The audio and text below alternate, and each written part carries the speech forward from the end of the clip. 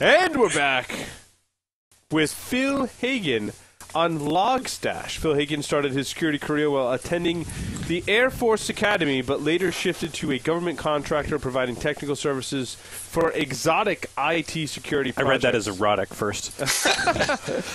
No, not those. exotic erotic, yeah, you know. Uh, most recently, Phil formed Lewes Technology Consulting LLC, where he performs forensic casework and information security training, including the creation of a new SANS course, Forensics FOR 572 Advanced Network Forensics and Analysis. Welcome, Phil, to the show. Thank you very much. Glad to be here, guys. It's nice to have you on. And I'm very, very interested in your. Now, you created a project called Logstash, is that correct? Um, I'm actually uh, not the creator. Uh, that uh, credit goes to a guy named Jordan Sissel. Um, I've, I've got a few links to some, some of his material.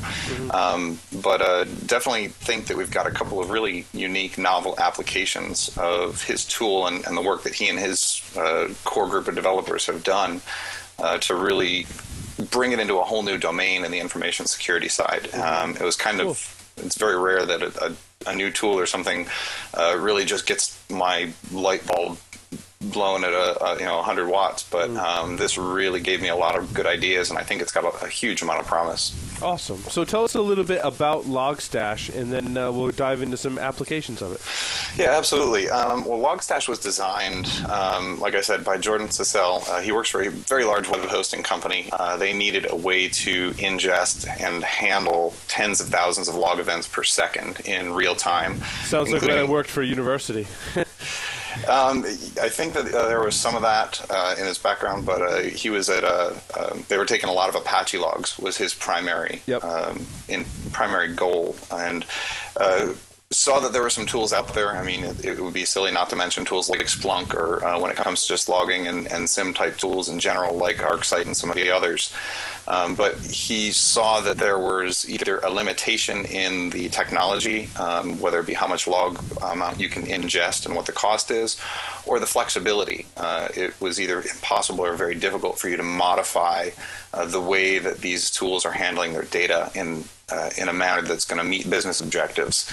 Uh, so he said, "Hey, what the heck? Let's just do this ourselves." And uh, and took the those requirements and put them all into this tool and, and released it some time ago. But it's really starting to gain a lot of momentum and a lot of steam in the DevOps community. Um, and my my hope is to see uh, the forensic community take that on as well. I think that there's a like I said, just a lot of potential. Very cool. I'm sorry. So from this point on, it's your it's your show, Phil. So okay, excellent. Um, continue well, on. I, we want to hear all about it and uh, some applications. Yeah, definitely. Um, well, one of the things that, that we've always done is uh, in the network community, the network forensic community, uh, you know, people say, oh, yeah, I, I can do Wireshark, I can do TCP dump, uh, I know PCAP. And for a very long period of time, that certainly was the, uh, you know, the, the critical mass of network forensics. Well, the problem with using that approach is you have approximately a millisecond in order to create that evidence, in order to acquire that evidence. And if you do not catch that while it flies across the wire, it's gone. Um, so your your evidence, uh, your evidentiary procedures have to expand, and that's where a lot of these different logging sources came into play. Uh, what we try to impress upon folks, and one of the things we like to stress, uh, just is the investigative mindset. There's a lot of different vantage points on the network, and the, these vantage points all touch or handle a transaction, a network transaction in some way, whether it's a proxy server that's actually uh, uh, taking that, that connection and intercepting it and doing something on behalf of the user, or it might just be a router or some other kind of a switching device or something like that that's facilitating the transaction. Um, they all have a unique and valuable vantage point on that network event, uh, and often log when it comes to that. Certainly, we talk about firewalls. Um, hearing Bill talk about the stuff with uh, the great history of Linux firewalling. Um, I have a bumper sticker on my car that says IP tables is my co-pilot, so I absolutely love the uh, Nice. the perspective he's got there. Um, but those all certainly generate log events, and and there's a lot more as well. Even if it's just a uh, an email login attempt, for example, that the, the fact that that occurred comes with some very valuable data. Where did it come from? Of course, what was the time? And uh, we want to expand folks' perspective to include those other sources because we want to create this comprehensive understanding of what occurred during an incident and during our, or during an event. Um, now, the downside on that uh, when you're in an incident response capacity is there's just a ton of different uh, log data that might be stored in dozens or even hundreds of locations across the environment.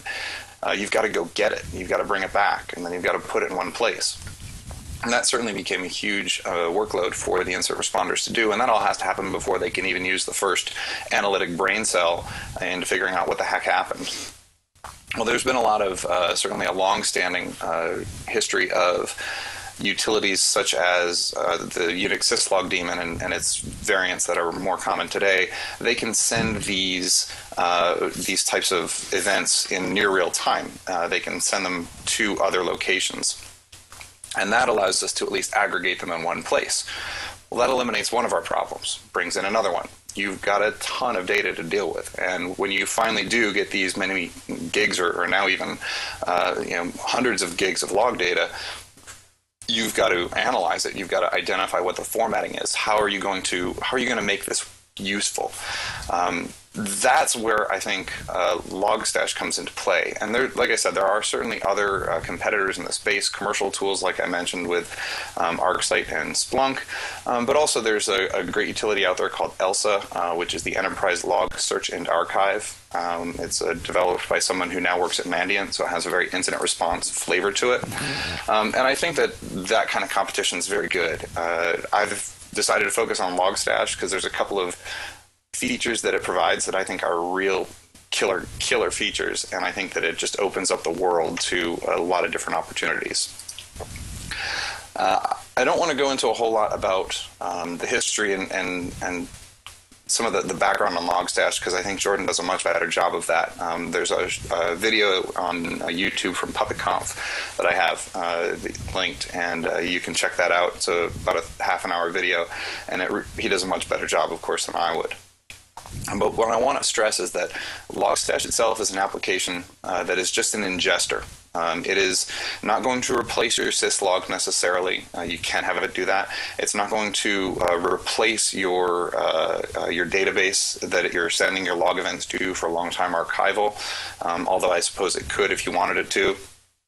Um, it's simply receiving data from a variety of sources, and you can have dozens of different sources, everything from typical syslog receipt to looking into uh, existing files on a file system to uh, you can even have monitor a Twitter feed, uh, for example. It's very, very pluggable.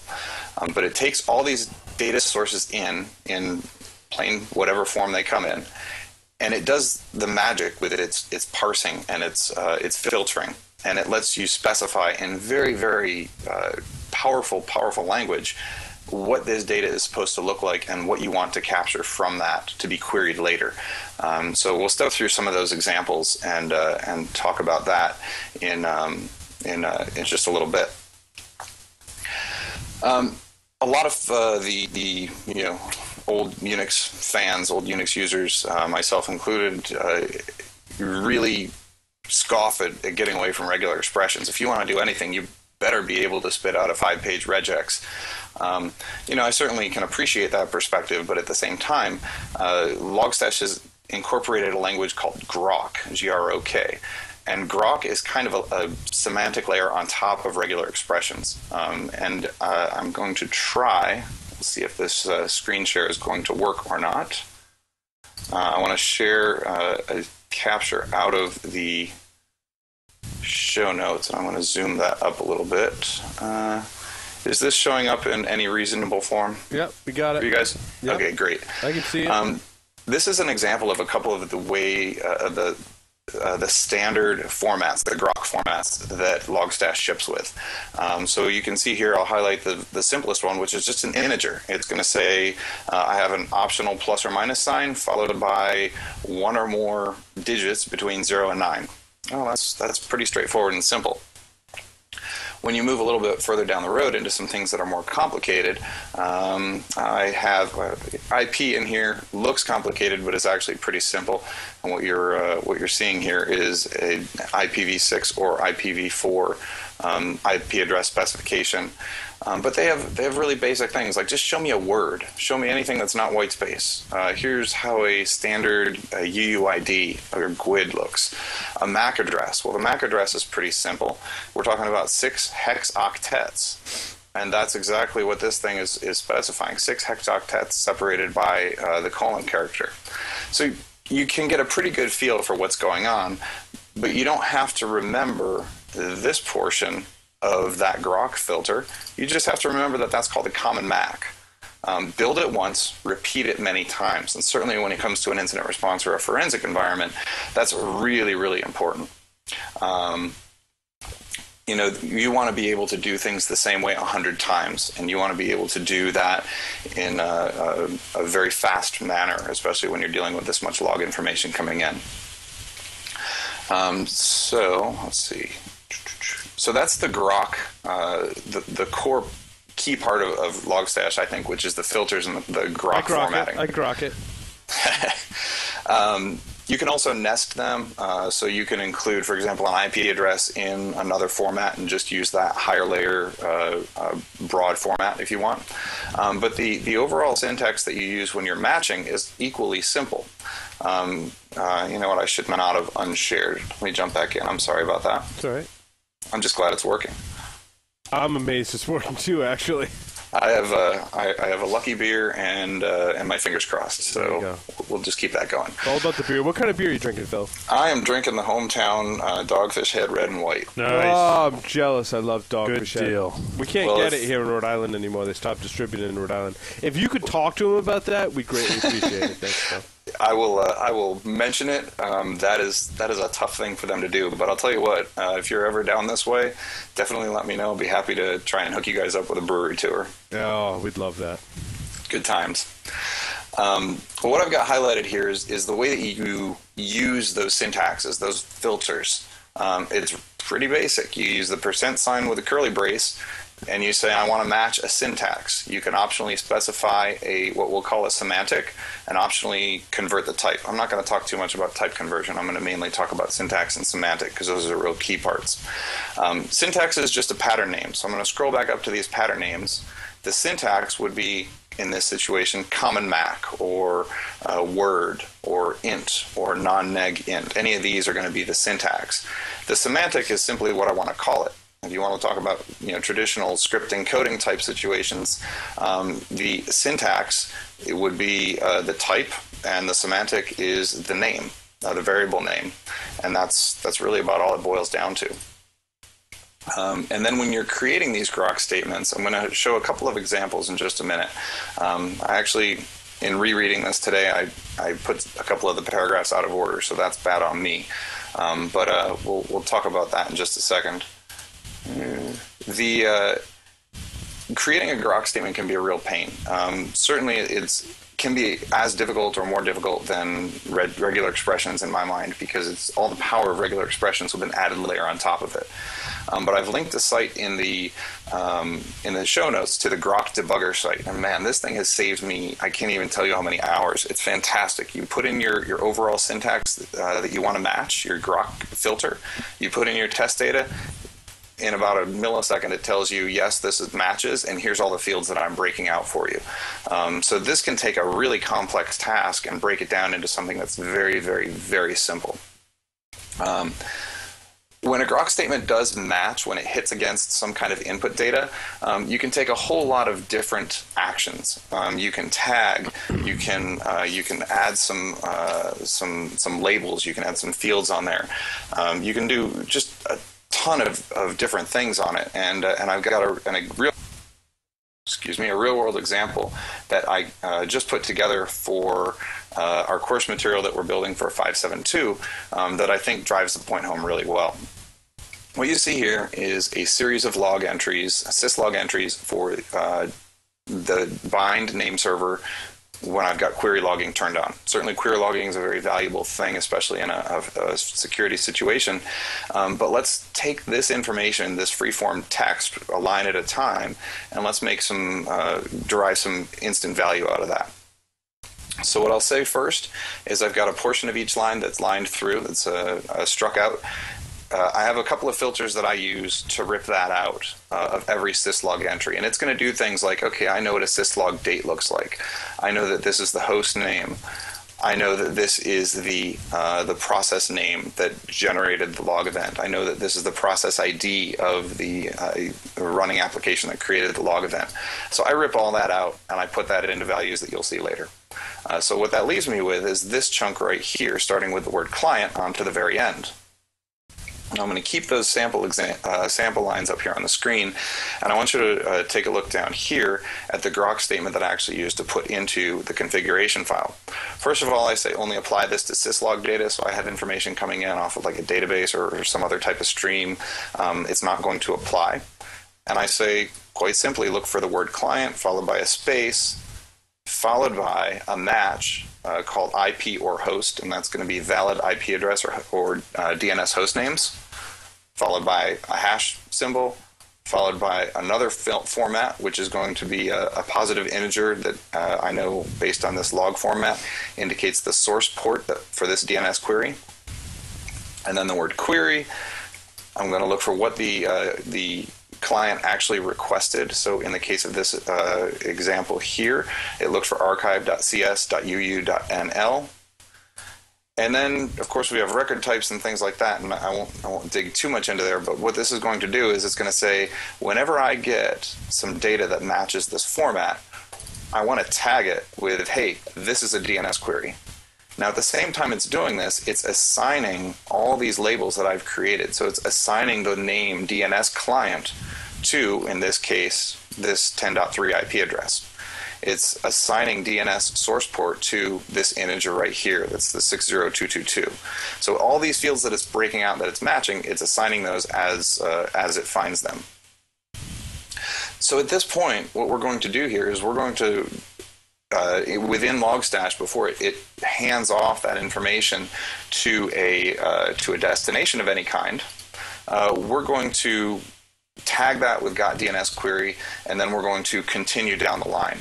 Um, now this can get pretty complicated, uh, not complicated, but complex. Uh, you can do some really creative things by saying, okay, if I have an item that's tagged with DNS query, um, you know, I want to maybe do some uh, uh, statistical accounting of it. I maybe want to discard it if it's for an internal host name.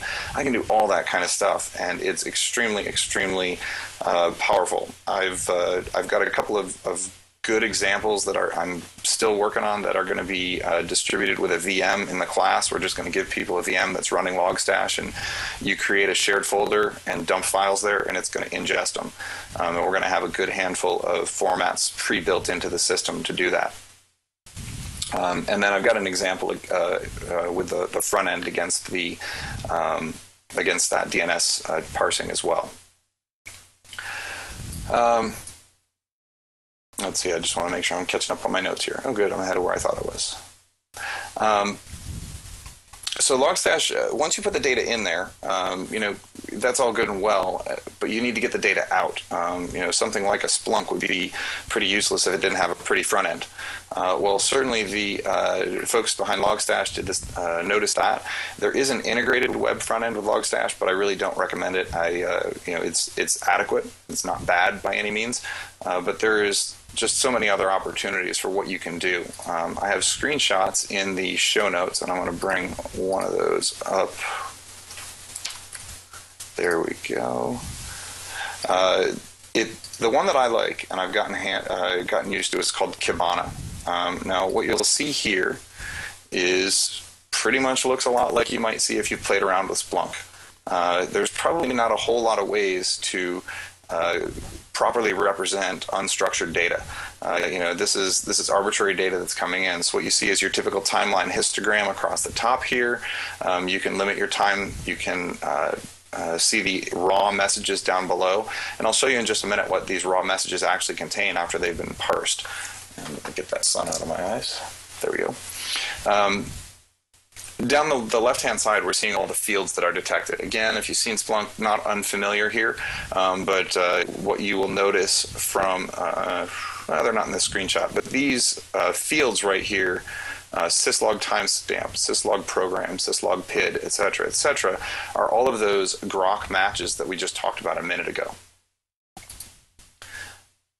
so let me back one more up. Uh, here we go. When you click into any one of these events, you're going to get this kind of information right here. Um, it's going to give you every single field that was parsed out and what the value was. What you're seeing here, uh, the original message was relayed from a Windows system using Snare, which is a syslog client, and it will take the event log items from Windows, forward them off to your syslog infrastructure. Uh, so it lets you unify everything under one umbrella. You don't have to worry about uh, multiple subscriptions if you're dealing with the, the Windows event log type services um, and of the Eventing 6.0 protocol. What we're seeing here is I've parsed out, um, based on the syslog, I'm sorry, the snare separators, uh, I've parsed out that the service control manager is the source of this event item. Uh, the uh, the ID, the event ID is 7036, and certainly if you've done any uh, type of incident response or, or real digging into um, the Windows side, you you'll know that that event ID is going to be absolutely critical, and of course the host name, the full uh, data of what the event was, etc. So we just kind of took this whole thing, sliced and diced it according to our custom format, and broke it out into these fields. Um, so you can tell that uh, that makes it much more human readable than the original line was. Um, I'm going to skip over that one from right now because that doesn't really drive too much of a point home given what we just looked at. Uh, but what I also like to say is that Kibana, uh, which is this front end, allows you to export to CSV, and it lets you use this kind of dashboard style streaming uh, interface where you can look at things in real time if you're ingesting logs in real time. Um, maybe not so helpful on the incident response side, but being able to export a custom set of fields into a CSV format makes it real easy to dump into a report. Um, so just uh, if you look up at the top here, uh, here's my search string. I said, show me anything that's got a named. Uh, I'm sorry, that has the syslog program set to named. So we're looking at bind. Um, I want to see anybody that uh, has been tagged with we got a DNS query. And I only want to see this one client, 10, 3, 16, 11, and I want to uh, use a timestamp. I want to show only items between, uh, in this case, 2 and 230, uh, which is local time. The query is written in UTC, as it should be. But this is going to let you very, very flexibly segment out your your incident, segment out your um, your timeline into what happened during this critical period of time, or maybe involving a, a certain critical resource. Uh, there, that one that I just uh, uh, used. I've got the full search specification up top here or in the show notes um, that you'll be able to, to, reference if it's something that you want to play around with. Um, but hey, you know, if, if you're in an incident response situation and somebody comes to you and says, this is a command and control host name that we've confirmed, uh, let's find out who requested that. And you can do that extremely, extremely fast. It takes uh, the, the backend search engine that's used by default here is extremely, extremely fast and powerful. Oh, I see that uh, Jordan is in the uh, in the uh, in the chat here. I just opened that window. Hi, Jordan. Good to good to have you here. Um, Jordan's been extremely Jordan, helpful. Jordan's the developer, correct? That you mentioned yes, earlier. Yes, okay. that's correct. Um, I, uh, that's been obscured by another window the whole time, so I'm sorry that I missed anything that you were saying. Uh, really apologize about all that. the time. I think I see some other familiar names there too. Um, here's another common use case. Um, that's the last one that I've got for here. Um, what I've done here is I've ingested uh, DHCP logs. Uh, we want to be able to find a particular system. Um, you know, we've identified maybe that uh, this system is uh, responsible for certain activity. Uh, we want to know what host name was allocated, what IP address it was allocated. We're going to use that to do lead generation. Uh, maybe look into our um, drawing a blank here, our NetFlow data to see what other uh, what else that IP address was up to based on this one piece of hardware that we're concerned about, maybe a rogue laptop or uh, or wireless device. So what I've done here is I've created one that says show me anything that's a DHCP ACK, which means that the IP address has been allocated by the DHCP server, and uh, we've got the hardware address that's allocated uh, that, that, we're interested in. And this is something that I needed just to rule out uh, some noise that was in my input data, so you can ignore that part. Uh, but I specified just show me the IP address, the host name, and over here the timestamp. Hey, this is going to be a great thing that I can export to CSV. Uh, just click it, download it, import it, and it's going to be extremely, extremely um, helpful to integrate into an existing timeline of, of any kind. Um, and I see in the uh, in the chat someone was saying it looks very similar to uh, basic type Splunk use, and I'm just showing the very introductory part of it. Uh, you know, we do a lot of pay a lot of attention to some of the more powerful uh, things you can do with with Logstash and just log aggregation and analysis in general. Um, and we, we pay a lot of attention to that primarily because we really think that it's important to incorporate those other evidence sources into your, your analysis. You can get really, really crazy with these configs, and I fully intend to do that uh, and and really ex- exercise the power that this thing has and deploy that in our VMware image. Um, you know, I just wanted to capture some of the basics on it and say, hey, this is this is a free tool. It's actively developed. It's extremely extremely flexible. Um, you know, again, I want to thank Jordan for his help in uh, in getting a couple of things ironed out while we were getting ready for this uh, podcast as well as for the course. Uh, the the developer community is is very very strong. Um, you know, I, I think Jordan. Excuse excuse me if I'm uh, paraphrasing this wrong, but uh, a bad newbie experience is considered a bug.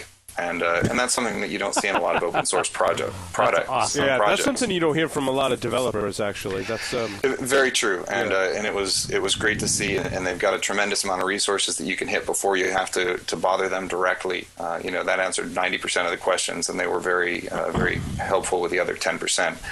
Um, you know, one of the Phil, things that I'd love to Phil, do with this is. Oh, I'm sorry. Go ahead. Where do you live where it's still light out? I am in Delaware. Oh, really? We, yes. We just must have all the blinds closed here. you said earlier that you were blinded by the sunlight. I was like, oh. Oh, yeah. I happen to be looking out a west window, so it just was peeking through the uh, yeah, yeah. Uh, the shutters.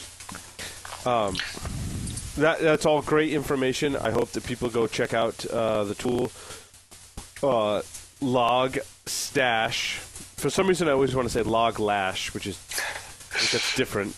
Um, is there uh, is there any uh, resources you want to point our listeners to with respect to log stash uh, other than their their project website? Um, I think that the uh, the link that they have off to the cookbook, which has a whole bunch of very good configuration snippets, um, can help you do kind of a Lego approach to build the right configuration for your requirements. Um, I think that that's a really good one to use. I can't say enough great stuff about that Grok debugger. Uh, it has saved me so many times. Mm-hmm. Um, you know, I think that there are other there are other communities that are beginning to see the value in this. As I said, DevOps has really adopted this in mass. Uh, when you're talking about tens of thousands of events per second, that's a problem that. Uh, from a forensic perspective, we don't have to deal with. So uh, I'm anxious to see uh, how folks can use this outside of its intended use case, and I, I think there's a lot. Very cool.